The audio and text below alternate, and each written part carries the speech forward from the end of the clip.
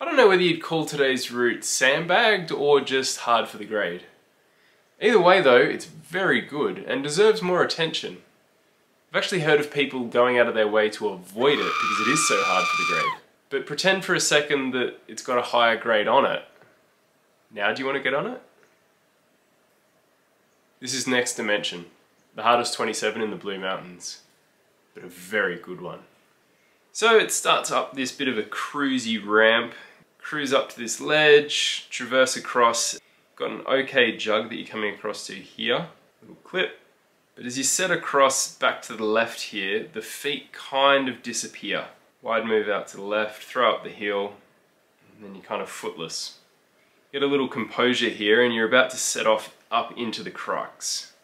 There's a couple of ways of doing this crux. Let's just pause it for a second here and have a look at how short Norrie's shorts are. They're not even making it down past his leg loop. It's a scary belay, let me tell you. Big move up with the left hand.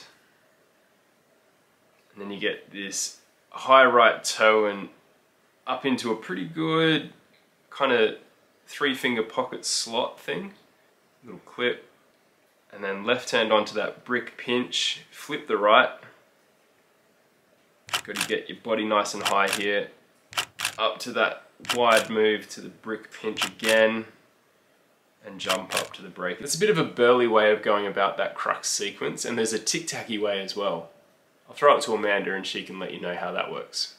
Thanks Tom. Awesome route and yes, my sequence has to be a bit different to his uh, a little bit shorter than him, 166 centimeters tall, and not quite as burly, just a tiny bit less burly.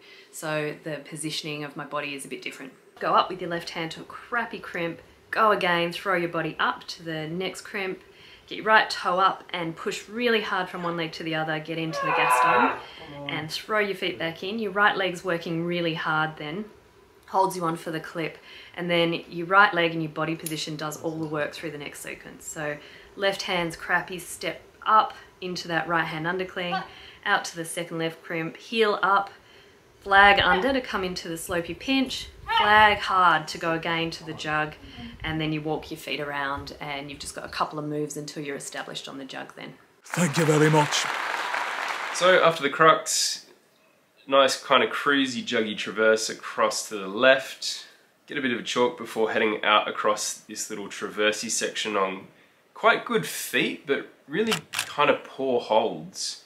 It seems strange because it's quite low angle and you feel like it should be easier, but it's actually kind of hard. A few tic-tacky moves and then bust into a big ledge before the final boulder problem.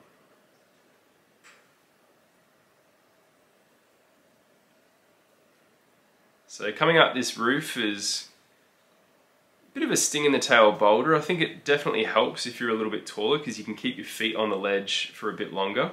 Doesn't quite work that way if you're shorter. However, getting it around the lip, I think if you're taller, is a little bit more awkward because there's a little bit more limb to contend with. So, swings and roundabouts. But once you frog your way up onto there, that's the anchor. Clip. Thanks for coming. So my intention for this was to try and get a little bit more hype for this route because it's very good and show people there's a couple of different ways of doing the sequences. Go check it out. It's really fun and it is definitely worth investing some time into. Enjoy.